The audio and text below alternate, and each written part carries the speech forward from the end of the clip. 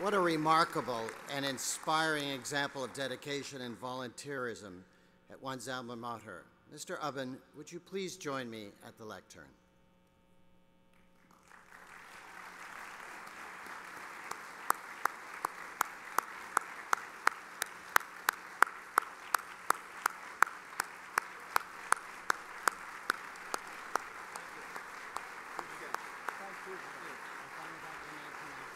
That's okay, no problem.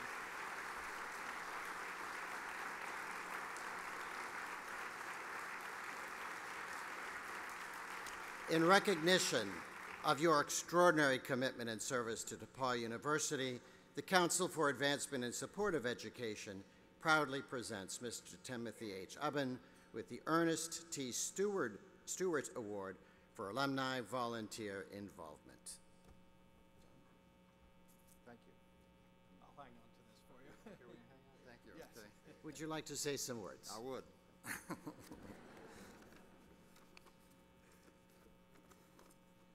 well, thank you very much. Um, first of all, I'm honored to accept an award named for Ernest Stewart. As you heard previously, uh, he was, quote, the man in alumni affairs and fundraising in the 50s and 60s, and the first executive secretary of an organization that became the predecessor to CASE.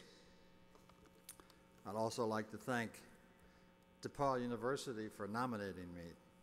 Appreciate that. And see how I won with so many other people more qualified. you know, the other day, a couple of my friends came to me and said, uh, So, we hear you're getting an award. I said, Yes. And they said, What is it for? And I, still straight face, say, way, I, I'm getting, I've been selected as the male athlete of the year.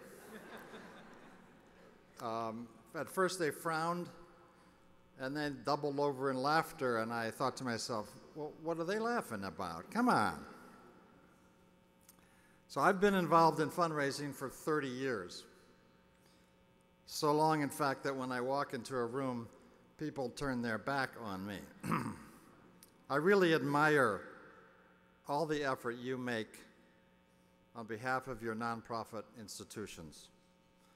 Through pestilence, famine, and alien invasions, to say nothing of wars, recessions, and financial crises, it's funny how your institutions always budget an increase in donations every single year.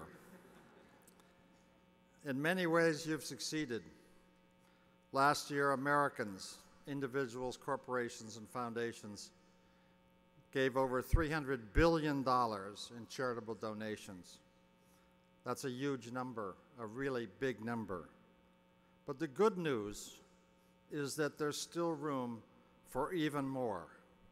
And let me explain. In 2011, corporations gave only 0.7% of their pre tax profits to charitable causes. And wealthy individuals, those earning over $500,000 a year, gave only 5% of their adjusted gross income, a far cry from the 50% allowed by the tax code. But individual affordability should not be based solely on income, but also on a much larger but less visible source, source the net worth of the donor. Maxi- maximizing a gift needs both. So your work is cut out for you. I'm confident that your ingenuity and resourcefulness will take advantage of these opportunities and experience future success.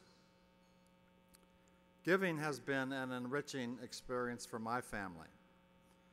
I guess the word I'm looking for is uh, fulfillment.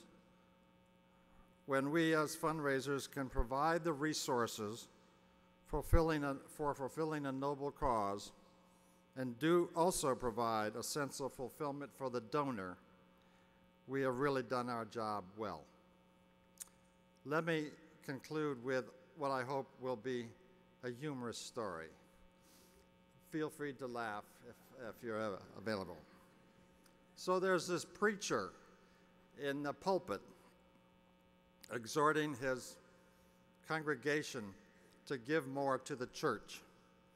And he says, Look what the Lord has done for all of you. Each of you ought to give one tenth of all you get.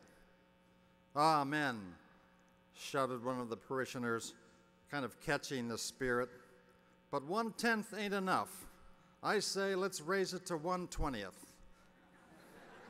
Thank you very much.